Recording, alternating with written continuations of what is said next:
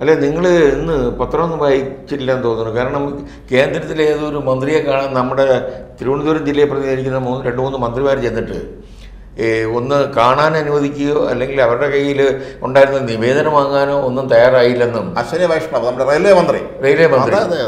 പോയതെന്തോ നിയമം? സഹമന്ത്രിയെ കണ്ടല്ലോ. ആ? മന്ത്രിയെ കണ്ട റെയിൽവേ മന്ത്രി ചെയർമാൻ മന്ത്രിയല്ലല്ലോ വേണ്ടത്. നമ്മളിപ്പം പിന്നെ കാണാൻ പ്രധാന ക്യാബിനറ്റ് റാങ്കുള്ള ക്യാബിനറ്റ് മന്ത്രി വിചാരിച്ചാൽ മാത്രമേ എന്തെങ്കിലും ചേഞ്ച് വരുള്ളൂ. ഈ സഹമന്ത്രിമാരുടെ റോൾ കേന്ദ്രത്തിൽ എന്താണെന്ന് നമുക്ക് അറിയാമല്ലോ വി മുരളീധരൻ തന്നെ നമുക്കൊരു ഉദാഹരണമായിട്ട് നമ്മുടെ മുമ്പ് കിടക്കുമ്പോൾ പിന്നെ സഹമന്ത്രി താൻ ഏറ്റവും സീനിയറായിരുന്ന ഓ രാജഗോപാൽ സഹമന്ത്രിയായിരുന്ന പിന്നെ നമ്മുടെ റെയിൽവേ മന്ത്രി അന്നത്തെ മറ്റേ ബംഗ- ബംഗാളിലെ മറ്റേ പെണ്ണുമ്പിള്ളേ മമതാ ബാനർജി. മമതാ ബാനർജി. അവിടുന്ന് രാജഗോപാൽ ജീവനും കൊണ്ട് ഓടിയത് നമുക്കറിയാം. ഈ സഹമന്ത്രിമാർക്ക് അവിടെ ഫയലെടുപ്പല്ലാതെ വേറെ യാതൊരു പണിയില്ല അങ്ങനെയുള്ള സഹമന്ത്രിമാരെ കണ്ടു എന്ന് പറഞ്ഞ് അങ്ങനെ ഇതിനെ ലഘൂകരിക്കരുത്. ഓടി ചെന്ന് ചെന്ന ഉടനെ അങ്ങ് കയറി കാണാൻ പറ്റിയ. ക്യാബിനറ്റ് മന്ത്രിമാരെ. അതെ. ക്യാബിനറ്റ് മന്ത്രിമാരെന്ന് പറഞ്ഞാൽ അവർക്ക് ചില ഉത്തരവാദിത്തങ്ങളുണ്ട്. അവർക്ക് ജോലി തിരക്കുണ്ട്. അവരുടെ മുൻകൂട്ടി അനുവാദം അനുവാദം മേടിച്ചതിന്. ശേഷം അനുവാദം വാങ്ങിയില്ല. അനുവാദത്തിന് വേണ്ടി അവിടെ എം പിമാര് ചെന്നിരുന്നു. അനുവാദം കൊടുത്തില്ല. കൊടുക്കാന്ന് പറഞ്ഞാൽ അദ്ദേഹത്തെ പിന്നെ അവർ റിക്വസ്റ്റ് ആയിട്ട് ചെന്നു അവരുടെ ഓഫീസിൽ കൊടുത്തിരുന്നു. ശരിയാണ്. പക്ഷേ മുൻകൂട്ടി അനുവാദം മേടിക്കും എന്തിനാ ഇവിടെ ഒരു ഒരു ഒരു പനിക്ക് ഒരു ഡോക്ടറെ കാണണമെങ്കിൽ മുൻകൂട്ടി അനുവാദം മേടിക്കാതെ ചെന്ന ഡോക്ടറെ കാണാൻ പറ്റുമോ? ഇതൊക്കെ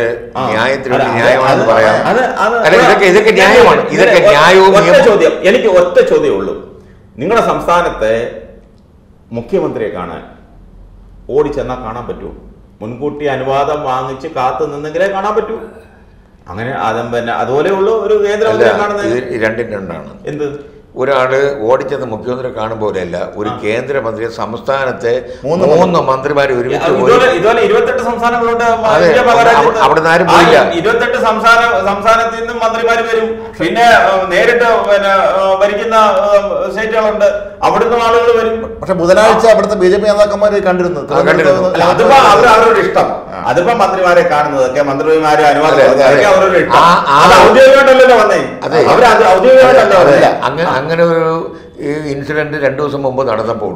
എന്തുകൊണ്ട് തിരുവനന്തപുരം ജില്ലയെ പ്രതികരിക്കുന്ന മൂന്ന് മന്ത്രിമാർ ചെല്ലുമ്പോൾ? അതും തിരുവനന്തപുരം പാർലമെന്റ് പാർലമെന്റ് മണ്ഡലത്തിലെ ഒരു പ്രധാനപ്പെട്ട ഇഷ്യൂ. കാരണം പാർലമെന്റിലേക്ക് നമ്മൾ ഇവിടുന്ന് ഒരാളിനെ തിരഞ്ഞെടുത്ത് അയച്ചിട്ട് തിരുവനന്തപുരത്തിന് യാതൊരു പ്രയോജനമില്ലാത്ത ഒരാളാണ് അന്താരാഷ്ട്ര വിഷയങ്ങൾ അതെ ശശി തരൂർ എന്ന് പറയുന്ന ഒരാളെ നമ്മൾ മൂന്നാമതും തിരഞ്ഞെടുത്ത് വിട്ടു. അയാളെ നിങ്ങൾ പോയപ്പോ എന്തുകൊണ്ട് അദ്ദേഹത്തെ കൂട്ടിയില്ല? കൂട്ടിയില്ല. അദ്ദേഹത്തോട് എന്താ പറഞ്ഞില്ല? അദ്ദേഹം ആ. അനുവാദം മേടിച്ചു തന്നേനല്ലോ ഓ. എന്തുകൊണ്ട് അനുവാദത്തിന് അദ്ദേഹത്തിനോട് പറഞ്ഞില്ല? അദ്ദേഹം വിചാരിച്ചാൽ. നടക്കുമായിരുന്നല്ലോ. പിന്നെ എന്തിനാ അദ്ദേഹത്തിന്റെ അനുവാദം അല്ല, അത് നിങ്ങൾ- അദ്ദേഹത്തെ കൂട്ടിയില്ല.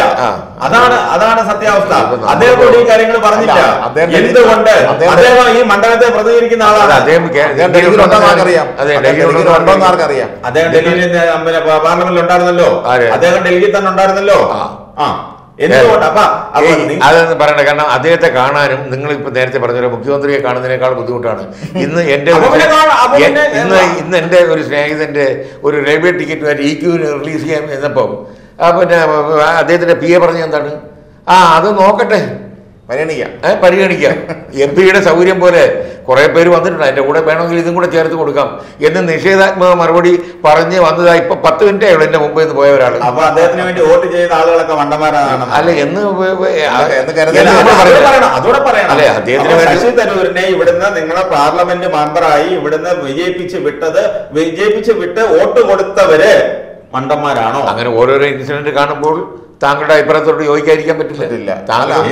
അതാണ്. അത് അത് ആദ്യം എം പി ആയപ്പം പറഞ്ഞു തിരുവനന്തപുരത്ത് ഇരട്ട നഗരമാക്കുന്നു സെക്കന്ദരാബാദ് ഹൈദരാബാദ് പോലെ. പിന്നെ ഉള്ള- നഗരത്തിനെ പോലെ പിന്നെ അദ്ദേഹം പറഞ്ഞു വേറെ വിദേശത്തെ ഏതോ ഒരു നഗരത്തിന്റെ ഒരു മാതൃകയാക്കും മാതൃകയാക്കുമെന്ന് അതെ പറഞ്ഞു. അത്. അപ്പം അതെ അത് ഇതെല്ലാം ശരി തന്നെ.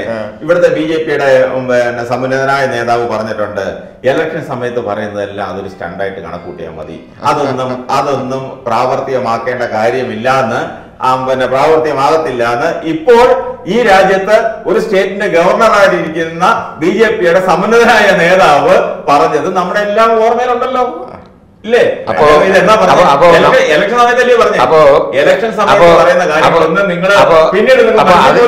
അതിന്റെ അർത്ഥം ഒരു പാർലമെന്റ് എം പി വിചാരിച്ചാൽ ഒരു പാവപ്പെട്ട ഒരു ആളിന് ഒരു ഇ ക്യൂ ടിക്കറ്റ് പോലും കാര്യം ഒരു- ഇ ക്യൂ. ടിക്കറ്റ് അയാളുടെ അയാൾക്ക് യാതൊരു ചെലവും ഇല്ല. ഈ നിയമത്തെ നേമത്തെ ഈ ക്യൂ- ഈ പിന്നെ നിയമത്തെ സോറി നിയമത്തെ ഈ ടെർമിനൽ വരുമ്പോഴേ കോച്ചിങ് ടെർമിനൽ വരാണെങ്കിൽ വലിയൊരു വികസനമാണ് റെയിൽവേയിൽ ഉണ്ടാവും. നിയമം എന്ന് പറയുന്നത് നിയമം എന്ന് പറയുന്ന അസംബ്ലി നിയോജക മണ്ഡലം ഈ ശശി തരൂരിന്റെ പിന്നെ പാർലമെന്റ് മണ്ഡലത്തിൽ പെടുന്ന ഒരു മണ്ഡലമാണ് അതാണല്ലോ. അതെ. അപ്പൊ അവിടുത്തെ കാര്യമായിട്ട് നിങ്ങൾ ചെല്ലുമ്പോൾ എന്തുകൊണ്ട് അവിടുത്തെ ജനപ്രതിനിധിയെ നിങ്ങൾ കണ്ടില്ല? ജനപ്രതി പ്രതി പരാജയപ്പെട്ടുകൊണ്ടാണ് ബാക്കിയുള്ളവർ അത് പറഞ്ഞ കാര്യമില്ല അത് പറഞ്ഞ കാര്യമില്ല. ജനപ്രതിനിധിയുടെ സംസാരം ജനപ്രതിനിധിക്ക് പറ്റൂ. അവിടെ അദ്ദേഹത്തിനെ കാണാൻ പറ്റില്ല പക്ഷെ അദ്ദേഹം ഒരു അനുവാദം ചോദിച്ചിരുന്നുവെങ്കിൽ പാർലമെന്റിൽ വെച്ച് സഭയിൽ വെച്ച് ചോദിക്കുകയാണ് ഇങ്ങനെ കാര്യങ്ങളുണ്ട് ഒന്ന് കാണാൻ വേണം ഏതായാലും മന്ത്രിമാർക്കൊന്ന് കാണണം. ഞങ്ങളുടെ നാട്ടിൽ നിന്ന് വന്ന ജനപ്രതിനിധികളാണ്. അവിടെ മന്ത്രിമാരാണ്. അപ്പൊ ആ മന്ത്രിമാർക്കൊന്ന് കാണണം. എന്ന് അനുവാദമായിട്ട് ചെന്നിരുന്നുവെങ്കിൽ ഇത് വളരെ പ്രസക്തമായ ഒരു കാര്യമാണ്. ഇനി മേലാൽ ആരെങ്കിലും കാണാൻ ചെല്ലുകയാണെങ്കിൽ അത് ശശി തരൂരിനെ ചെന്ന് കണ്ട് അനുവാദം വാങ്ങിച്ച് ഒരു ചുറ്റും വാങ്ങിച്ചിട്ട് നേരെ അങ്ങോട്ട് ചെല്ലുക. എങ്കിൽ നമുക്ക് ഞങ്ങളുടെ നാട്ടിലെ ഞങ്ങളുടെ നാട്ടിലെ പഴമൊഴിയുണ്ട്. ഇല്ലേ പിന്നെ പട്ടി ചന്തയിൽ പോയെന്ന് പറയുന്ന പോലെ. അല്ലാതെ അപ്പൊ അതുപോലെ അതുകൊണ്ട് ഇനി മേലെ നമ്മൾ ആരെങ്കിലും പോവുകയാണെങ്കിൽ ഇതുപോലെ ആദ്യം അദ്ദേഹത്തെ ചെന്ന് കണ്ട് അതെ. ഒരു കാണിക്ക അവിടെ ഇടുക. കാണണമെങ്കിൽ. നിങ്ങൾ പോകുന്ന കാര്യം നടക്കണമെങ്കിൽ നിങ്ങൾക്കൊന്ന് നിങ്ങൾക്കൊരു അവിടെ അദ്ദേഹത്തിന് വളരെ ഓഫീസുണ്ട്.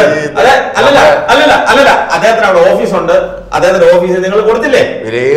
പിന്നെ. സഹമന്ത്രി അദ്ദേഹത്തെ അസിസ്റ്റ് ചെയ്യുന്ന സഹമന്ത്രിക്ക് നിങ്ങൾ കൊടുത്തില്ലേ? കൊടുത്തു. പിന്നെ ഇതിൽ കൂടുതലൊക്കെ എന്താ വേണം? അതെ. അത്രയും പണ്ട്- അദ്ദേഹത്തിന്റെ ഓഫീസിലെങ്കിലും ചെല്ലാത്തവർ അവസരം കിട്ടിയല്ലോ പണ്ട് എനിക്ക് അനുഭവമുള്ള ഒരു അനുഭവമുള്ളൊരു സംഭവം.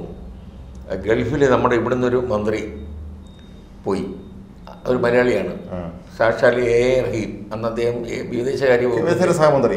സഹമന്ത്രിയാണ്. കോൺഗ്രസിന്റെ വലിയ നേതാവ്. ഞങ്ങളുടെ കൊല്ലത്തുകാരൻ. ഞങ്ങളുടെ എം പി ആയിരുന്നു ഞങ്ങളുടെ കൊല്ലത്തുകാരൻ. അതെ. കൊല്ലം കോട്ടയം എന്നുള്ള അല്ല ഇവിടെ പ്രശ്നം. അദ്ദേഹത്തിന് മലയാളി എല്ലാം കൂടി അവിടെ ചെന്നപ്പോൾ ഒരു വൻകിട വലിയൊരു ഹോട്ടലിൽ അദ്ദേഹം താമസിച്ചിരുന്നത് പോയി ഒരു നിവേദനം കൊടുത്തു. നിവേദനം ഞാൻ ഇത് ഞാൻ ഡൽഹി ചെന്ന ഉടൻ തന്നെ വേണ്ട രീതിയിൽ അത് പരിഗണിക്കുമെന്ന് പറഞ്ഞ് സൈഡിൽ അദ്ദേഹം പേനെടുത്ത് എഴുതി എന്തോ എഴുതുന്നുണ്ട്. എഴുതി അദ്ദേഹം മേൽപ്പുറത്ത് വെച്ചു. അദ്ദേഹം അന്ന് അതിനെ വെക്കേറ്റ് ചെയ്ത് ഇന്ത്യയിലേക്ക് വരികയും ചെയ്തു. ഈ ഗൾഫിലെ മിക്കവാറും ഹോട്ടലുകളിലെല്ലാം കൂടുതലും നമ്മുടെ മലയാളി ജീവനക്കാരാണ്.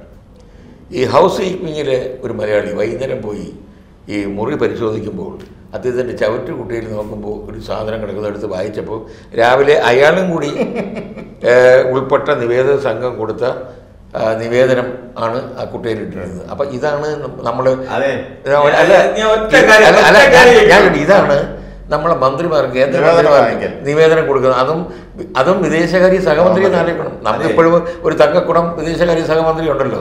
ഇതുപോലുള്ള വിദേശകാര്യ സഹമന്ത്രി. അപ്പൊ അതുകൊണ്ട് ഞാൻ പറയുന്നത് ഞാൻ പറയുന്ന മറ്റൊന്നുമില്ല. ഈ രാജ്യത്ത് പിന്നെ വേറെ ആ ഹോട്ടലിൽ തന്നെ സഹമന്ത്രി ഉണ്ടായിരുന്നു. ഞാൻ ഇപ്പോഴും അദ്ദേഹം എം പിയാ ശ്രീമാൻ കൊടുക്കുന്നു സുരേഷ്. ഏഹ്, ഇതുപോലെയാണ്. അപ്പൊ കിട്ടുന്ന നിവേദനങ്ങളെല്ലാം മേടിച്ചു വെക്കുകയും ചെയ്യും എഴുതി കൊടുക്കുകയും ഒക്കെ ചെയ്യും. അതെല്ലാം നടന്നിരുന്നുവെങ്കിൽ ഇന്നൊരു ഒരു സ്വർഗമായേനെ മാവേലിക്കര പാർലമെന്റ് മണ്ഡലം ആ നേരത്തെ. മണ്ഡലം ഇതൊക്കെ ഒരു സ്വർഗമായേനെ പിന്നെ കിട്ടുന്ന കിട്ടുന്ന നിവേദനങ്ങളെല്ലാം അതൊക്കെ അതിന്റേതായ പിന്നെ അറിയിക്കുന്ന പ്രാധാന്യത്തോടെ ചവിട്ടോട്ടെ കാണാം. ശരി. ചവിട്ടോട്ടയിലെങ്കിലും കണ്ടല്ലോ.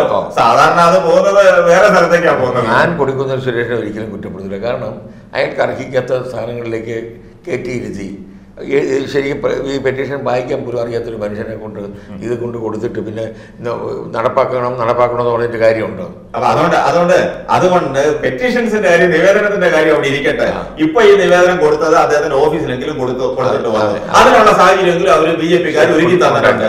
പിന്നെ ബി ജെ പിക്കാരും മുമ്പേ പോയി ഈ ആവശ്യങ്ങളെല്ലാം പറഞ്ഞിട്ടുണ്ടോ. പിന്നെ ഇതിനെ പുറകെ കാര്യം ഉറപ്പാണ്. നിയമം ടെർമിനൽ ഉറപ്പായി. ഇനി ചർച്ച ആവശ്യമില്ല നമുക്ക്. നമുക്കൊരു ചായ കുടിച്ചൊക്കെ വിരിയാണ്